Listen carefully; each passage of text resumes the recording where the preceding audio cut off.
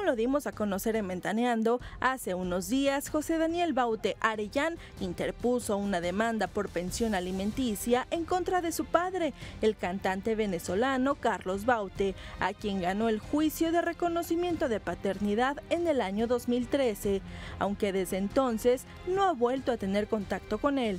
José Daniel habla en exclusiva para Ventaneando y explica el origen de esta nueva demanda que impulsa su abogado Fernando Osuna, y es que su situación económica es sumamente precaria, luego de que desde hace casi 10 años abandonara su natal Venezuela para afincarse en España y pelear por el reconocimiento del cantante.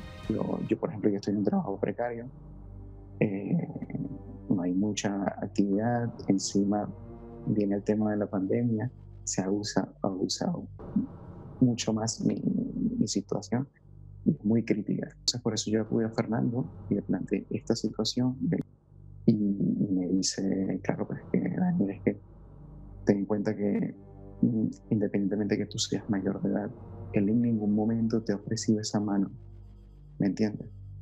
No, no, no ahora, sino nunca te lo ha ofrecido. Y por eso nosotros hacemos esta, esta reclamación.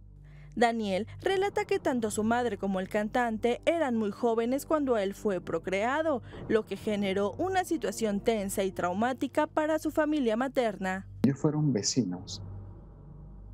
Eh, cuando ella se, quedó embarazada, ellos, eh, ella le avisó a él, lo sabía. De hecho, mi abuela fue a casa de ellos, esto por la puerta, que la madre o el padre es el que abre y le dice, oye, pasa esta situación. La respuesta de ellos fue cerrarle la puerta en toda la cara. A los meses ellos se mudaron. Vamos pasando el tema totalmente. Y por eso, y por eso, por eso a mi familia le, le costó mucho, sabes, que yo volviese a abrir como esa herida. ¿Qué te dice tu mamá al respecto?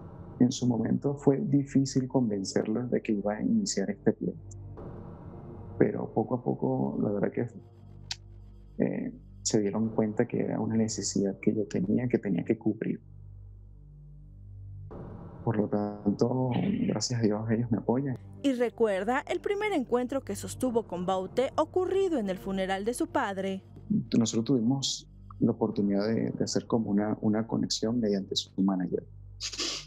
Una vez que falleció mi padre, eh, yo, fui, yo asistí al funeral en San Carlos y tal, eh, se acercó y tal, le di mi sentido pésame, me, dio un abrazo y tal, y, ya está, eso fue todo. Y se me acerca el manager y tal, y me dice, hombre, toma el correo electrónico que vamos a mantenernos en contacto. Pero de eso pasó muchos, muchos meses toda la relación que la tuve con su madre. Eso, dice mucho también de una persona, ¿no? En vez de enfrentarte al problema, envías a otra persona.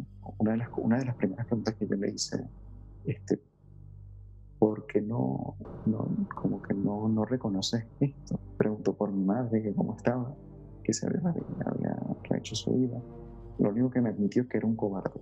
Sin embargo, en el momento en el que la demanda de paternidad se hizo pública en 2012, Carlos cortó toda comunicación con José Daniel. Desde esa ocasión ya no lo volviste a ver ni volviste a saber nada de él. Más nunca.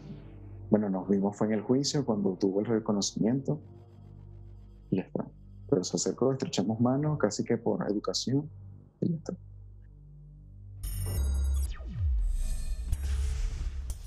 A través de nuestro canal de YouTube. Todos los días, en cualquier momento, puedes ver todo el tiempo ventaneando. Además podrás encontrar contenido exclusivo que no viste en televisión, así como lo escuchas, no lo viste en televisión.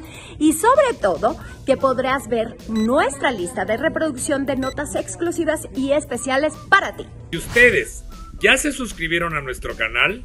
Pues si no lo han hecho, ¿qué esperan?